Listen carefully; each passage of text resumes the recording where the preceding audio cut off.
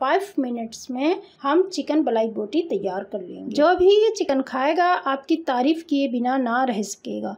इतनी लाजवाब बनती है चिकन बलाई बोटी। बिसमीम वालेकुम वीवर्स आई होप कि आप सब खैरियत से होंगे। अल्लाह रब्बुल इज़्ज़त आप सबको अपनी हिफाजत में रखे और आपके रिस्क में ढेरों बरकतें अता आज मैं चिकन बलाई बोटी की ऐसी रेसिपी लेकर आई हूँ जो कि सिर्फ़ और सिर्फ़ पाँच मिनट्स में बनकर तैयार हो जाती है, यानी फाइव मिनट्स में हम चिकन बलाई बोटी तैयार कर लेंगे। बहुत ही इजी और क्विक रेसिपी है। बिल्कुल नए तरीके से ये रेसिपी बनाना बताऊँगी, जो कि किसी ने कभी नहीं बताया होगा। इतनी आसान और जल्दी बन जाने वाली ये रेसिपी है कि आप खुद हैरान रह जाएँगे। तो आइए देखते हैं कि पाँच मिनट के अंदर चिकन बलाई बोटी कैसे तैयार होती है। बिस्मिल्लाहिर्रहमानिर्रहीम। तो यहाँ पर मैंने बोनलेस चिकन ली है हाफ़ के जी आधा किलो, और इसको मैंने अच्छे से धोकर साफ़ कर लिया था। अब हम इसमें स्पाइस ऐड करेंगे। बिस्मिल्लाहिर्रहमानिर्रहीम। तो यहाँ पर मैंने ली है काली मिर्च वन टीस्पून चाट मसाला वन टीस्पून आप चाहें तो हाफ़ टी स्पून कर लें। लेकिन यहाँ पर मैंने वन टीस्पून डाला है।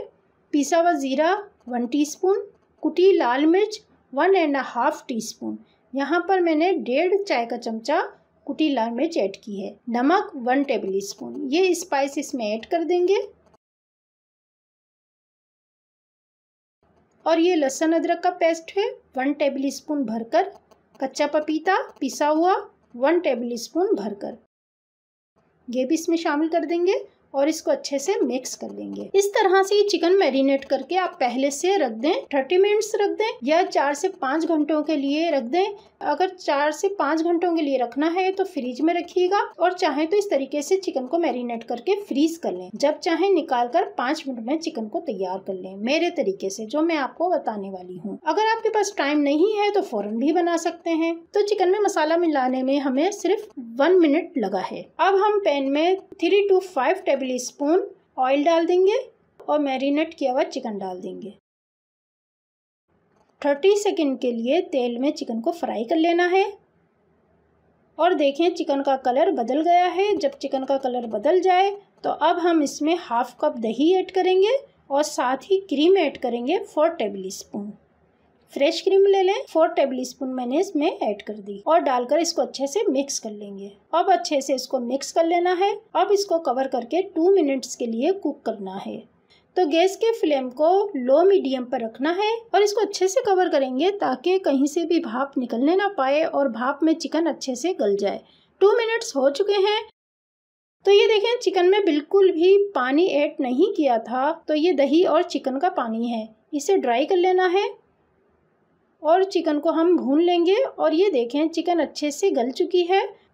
वन मिनट तक हम चिकन को हाई फ्लेम पर भून लेंगे।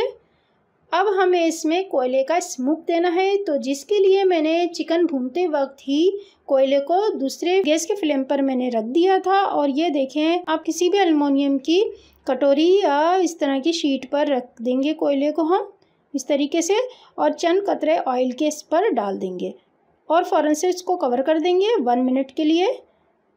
अगर अभी तक आपने वीडियो को लाइक नहीं किया है और चैनल पर नए हैं चैनल को सब्सक्राइब नहीं किया हुआ है तो प्लीज़ वीडियो को लाइक और शेयर कर दीजिएगा और हमारे चैनल जाबिस किचन को सब्सक्राइब ज़रूर कर दीजिएगा। तो ये लीजिए बहुत ही आसान और मज़ेदार फाइव मिनट में बन जाने वाली चिकन बलाई बूटी बनके तैयार हो चुकी है। अब हम ऊपर से इसमें क्रीम ऐड करेंगे क्रीम से गार्निश कर लें और सर्व करें। जो भी ये चिकन खाएगा, आपकी तारीफ़ किए बिना ना रह सकेगा। इतनी लाजवाब बनती है चिकन बलाई बूटी। तो इसको ज़रूर ट्राई कीजिएगा इन आपको ज़रूर पसंद आएगी। जाने से पहले हमारे चैनल जाबिस किचन को सब्सक्राइब कर दीजिएगा, साथ ही बेल आइकन को ज़रूर प्रेस कीजिएगा। इससे मेरी हर न्यू रेसिपी सबसे पहले आपको मिला करेगी। अपना बहुत बहुत ख्याल रखिएगा, दुआ में ज़रूर याद रखिएगा।